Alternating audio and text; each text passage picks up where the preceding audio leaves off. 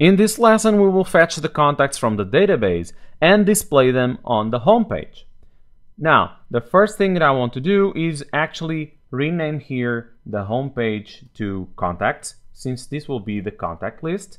And I want to check here this anonymous role. And basically I want to do this because I don't want to go into security in my implication. We will see later on how to handle security, but for now, let's just keep on ticking this anonymous role in the screens that we create. Now, let me just double click here the contacts. So this will be our contact list. Let me just give a title here to my screen, contacts. And to display the contacts here in the content area, we will need to fetch them from the database. And to do that, we will need to add a preparation to our screen. Let me just show you how to do it. We'll right click here the screen and select here add preparation. This preparation action allows you to prepare all the information you will need to render the screen. In this case, we will fetch the contacts from the database. And to fetch these contacts from the database, we are going to use this tool here, which is called an aggregate. This aggregate, let me just drop it here on the flow, this is a powerful tool that allows you to fetch and manipulate data. In this case, we will use it to fetch the contacts from the database, and further ahead, we will take advantage of other features of this tool. Let me just open up here the aggregate, and what I'll need to do, as you, you probably already seen here, is to drag and drop the contact entity into this area. So let me just go here into the data tab and drop here the contact entity. And there we have it. These are the contacts that we had on the Excel file that were bootstrapped into the database and that the OutSystems platform now is fetching to be rendered in our screen. As you can also see here, the aggregate was also renamed to get contact. So the platform inferred that this is probably a good name for this element. Now, we have our contacts, we have all the information that we need to render our screen. We can leave here the preparation action and go back to our screen.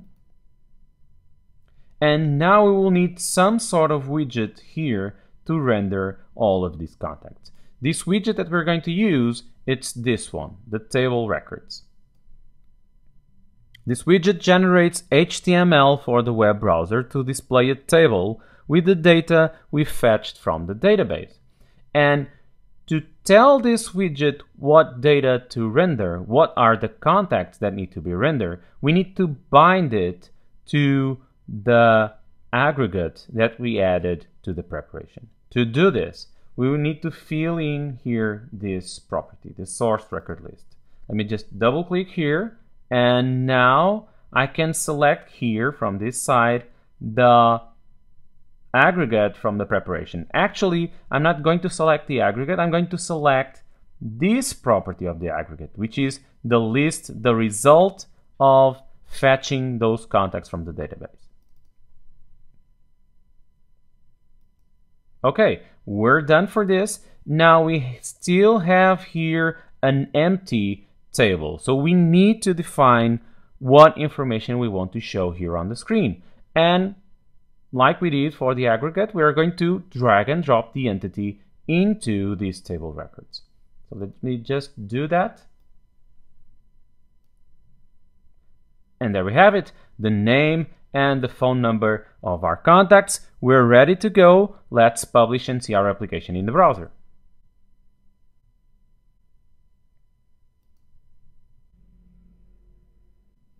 And here we have the contacts we had on our Excel file now displayed in our phone book application.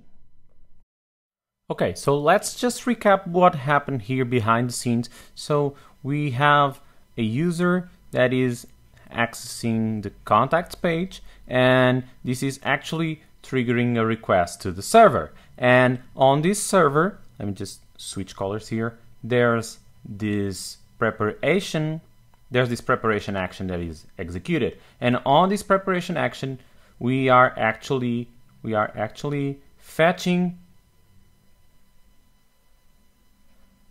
fetching the contacts from the database. There's a table here in the database that has these contacts and these contacts, these contacts, let me just switch color here. This aggregate that we used to fetch these contacts has this property called list, which is the list of contacts we just fetched from the database that is going to be bound, it's going to be bound to the table records widget that is going to be rendered during the server-side render stage record by record. So each element of each element of the list is going to be rendered. So we will have here Joanna and Dwayne and so on. Now, once this server-side render stage is over, the response is sent back to the user's browser and shown here on the screen. That's it.